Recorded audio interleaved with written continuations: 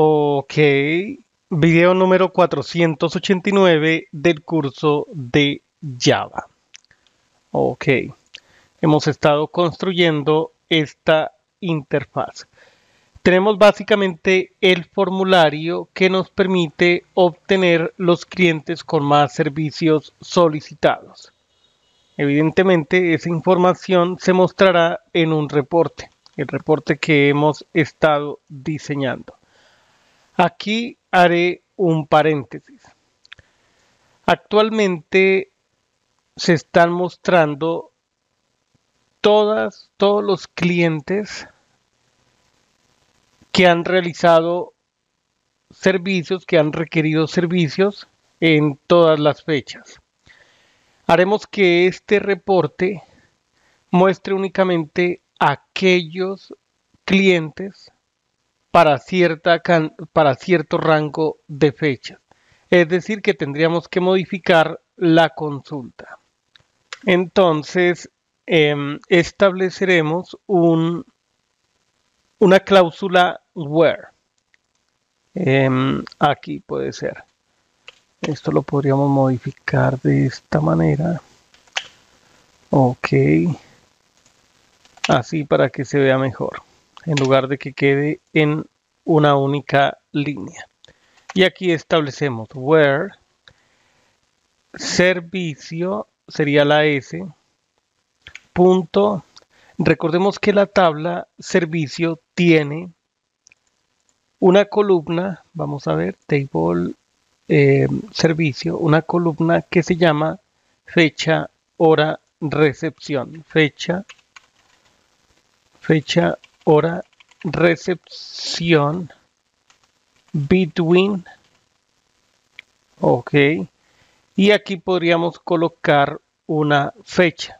Entonces tendríamos un parámetro de tipo string digamos fecha inicio al principio después del signo dólar colocamos fecha inicio and p. La p significa parameter parámetro, fecha final. Ok, estos parámetros no existen aún, entonces los vamos a crear.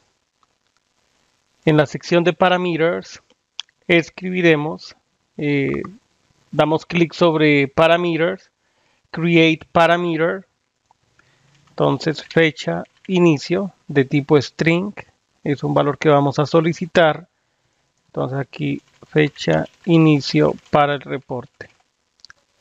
Ok. Y además eh, otro parámetro. Guardamos ahí otro parámetro. A este parámetro lo, lo, vamos a llamar fecha final de tipo string fecha final para el reporte. Ok tenemos básicamente tres parámetros personalizados. Nosotros podemos mostrar parámetros dentro del mismo reporte, el texto. Observemos. Podemos formar, voy a arrastrar aquí el valor. Ok, creo que ahí está bien. Cambiamos el color. Entonces, que el color frontal, el del texto, sea blanco y el color de fondo que sea negro. Esta es eh, que sea rojo. Sería básicamente este mismo rojo. No lo puedo seleccionar ahí.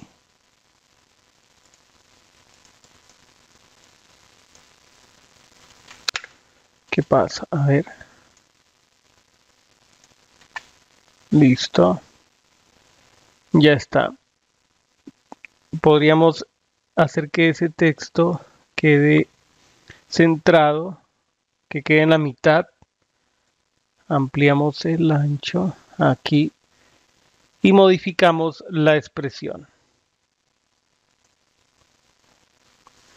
Este editor de, Eclipse ID es un poco lento a veces, entonces podríamos escribir Em, desde reporte desde, cerramos comillas, concatenamos. Ok, esto porque aparece así, dice the word report is not currently. Ah, es un, una corrección de ortográfica. Eh, como está en español y la configuración por defecto del editor es en inglés, se muestra así. Hasta y concatenamos P fecha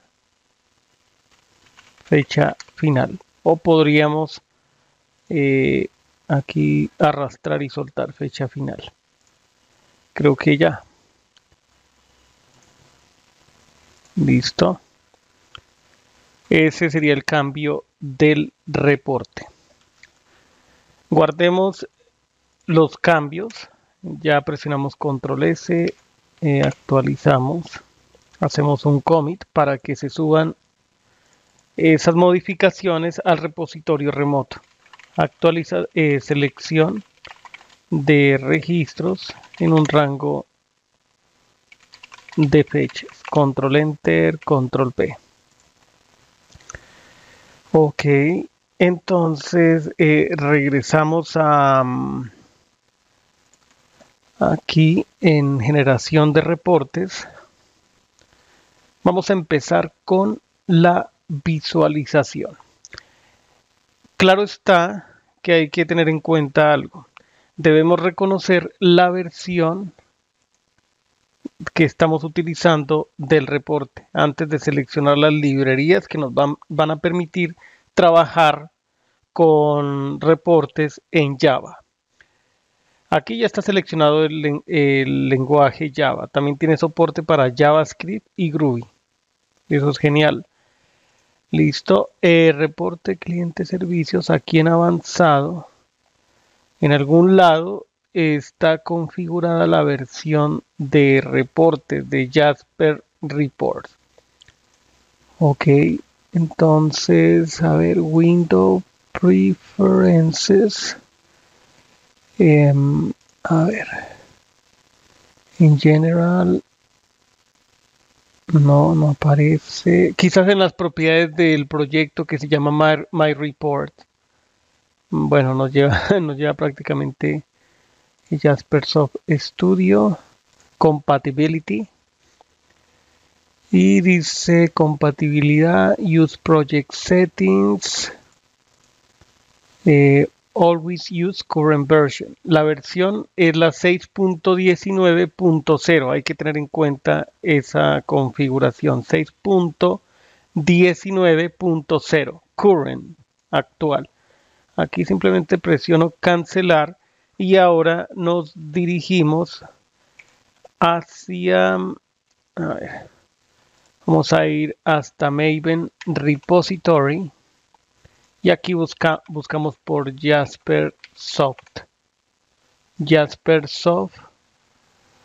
A ver, está bien escrito. Jasper Soft. ¿Dónde está Reports? No, no aparece. Reports. Reports. Mm, reports Library. Mm. Lo buscaré de esta manera. Jasper Soft Reports Library. A ver. Aquí aparece esto. ¿De qué fecha es? Resources. Releases. La 6.10 la 6.20.0. Esa es la necesitamos la 16 perdón, la 6.19. Em, Jasper Report. Ah, Jasper, eh, Jasper Reports. Así eh, la vamos a buscar en Maven Repository. Jasper Report. Ahora sí. Seleccionamos la 6.19.0 y copiamos este código. Entonces aquí ya nos dirigimos, puede ser a Eclipse IDE o directamente en, en IntelliJ IDEA. e incluimos esa librería. Hacemos que se refresque el proyecto. Bien, entonces esperemos a que se haga la descarga de esas librerías al repositorio Maven local. Esto debe quedar en color blanco el texto. Ahí está descargando varias, varios archivos, varias dependencias. Es una elegancia poder contar con un esquema, un sistema de gestión de dependencias. Listo, entonces aquí eh, ya está. Seguramente nos ofrece una versión más reciente, pero así está bien, no importa. Ok, em, tan tan tan, ah, realicemos un commit.